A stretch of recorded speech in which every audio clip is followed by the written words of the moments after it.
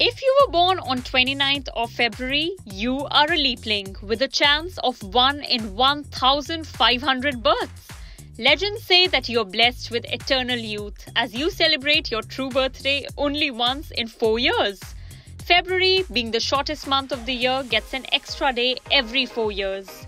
This is an attempt to keep our calendars in sync with the Earth's orbit around the Sun which takes roughly 6 more hours over 365 days to complete every year.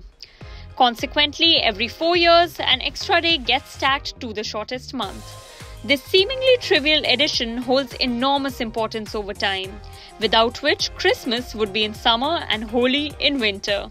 This anomaly comes with a fair share of superstitions across the world.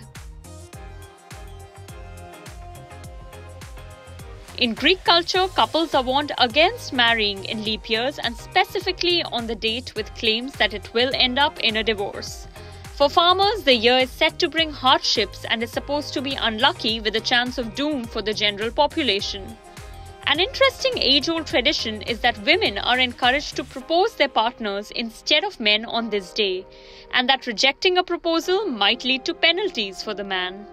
In Taiwan, aging parents get a special meal to ward off evil and for good fortune and health. In most parts of the modern world, a leap year cocktail and special travel discounts make for the extra day celebration.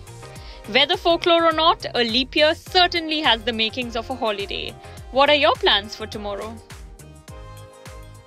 For more informative videos like this, keep watching India Today Newsmo.